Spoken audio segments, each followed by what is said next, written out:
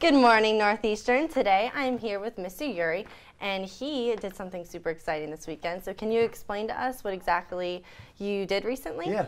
So, there's a movie coming out this uh, year, later on in the year, um, called The Greatest Showman on Earth. Mm-hmm. Um, and my folks and a couple other people that are interested in uh, hobbies such as uh, horse-drawn carriages mm-hmm. and driving carriages uh, were invited to participate and be extras in the movie to drive horses around for the uh, firemen and whatnot. So they suited me up as a fireman and dressed me up.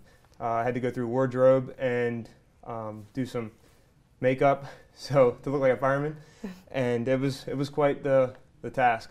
We had to we had to work for 11 hours. It was crazy. Oh my goodness, that's a really long day. So how did you hear about this opportunity?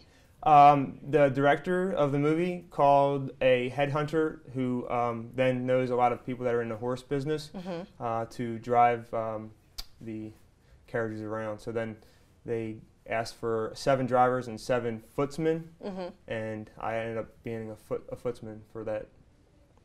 That's really cool. That's really cool. Uh, what made you want to do it? Uh, obviously, it was like a once in a lifetime experience, right. so I jumped on it real quick. Um, it's my parents' third movie total, so yeah. I mean, being in New York um, and they were shooting on the weekend, I decided just to, to, take the opportunity and go with it. Cool. What actors were in the movie? So that's Hugh Jackman right there. I'm not sure if you can see me pointing to it. Oh, that's um, pretty cool. Hugh Jackman, yep, got to like look at him. Didn't really say anything to him, but we, you know, made eye contact. Wow, right? And Zach, Zac Efron was there as well. So awesome.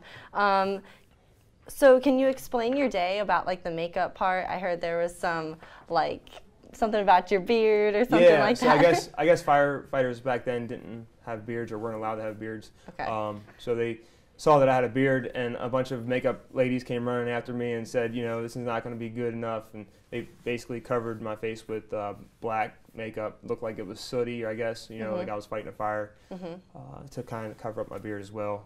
And at that point in time, the lady was like, I was kind of like, you know, clustered and they were touching my face, so I didn't really, you know, receive it real well. yeah. But um, the lady that did my makeup, she uh, she won an Emmy award for for uh, I think 2011. Wow, that's yeah, awesome. Cool. Well, thank you so much for joining us. That's super cool that you got to do that.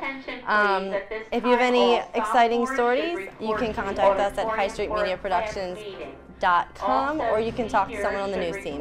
Have a great day, Northeastern, and stay classy.